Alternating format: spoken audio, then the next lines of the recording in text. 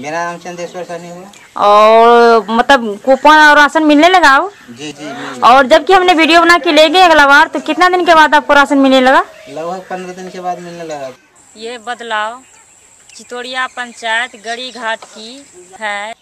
यहाँ की समाजों को तीन महीना से नहीं तो राशन नहीं तो कूपन मिल रहा था जो कि हमने यहाँ बीपीएल के बारे में वीडियो बनाए थे।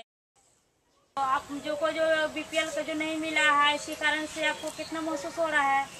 हमको तो महसूस बहुत हो रहा है क्योंकि पहला नंबर तो है मेरा बच्चा के पढ़ने में दिक्कत हो रहा है। जब मेरा घर में तो तेल नहीं रहेगा तो दिया जलेगा नहीं। अब दिया जलेगा नहीं तो बच्चा पढ़ेंगे नहीं। सांस के पढ़ने में बहुत भारी समस्या हो रहा है। उसके वजह से तो बच्चा को टास्क बन नहीं पाता। वीडियो बना करके प्रखंड पे गए और वीडियो से मिले। तो वीडियो ने हमको आश्वासन दिया कि पंद्रह दिन में यहाँ के समाजों को राशन और कूपन दोनों दिया जाएगा।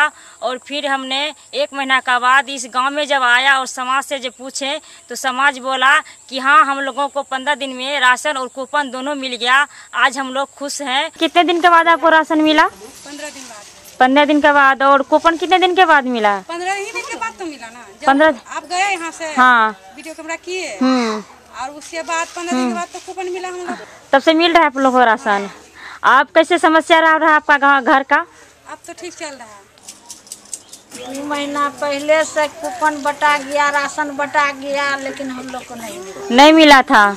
तो क्या मुखिया कुछ बोला था? कुछ नहीं बोला। जो फ़ोटो करके गए उसको पंद्रह दिन के बाद। हाँ। काठ मिल गया। हाँ मिल गया मिल गया।